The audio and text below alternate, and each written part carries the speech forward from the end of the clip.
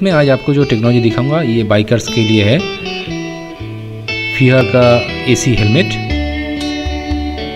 जो गर्मी में आपको एसी मैंने हेलमेट के अंदर ठंडा हवा देते रहेगा।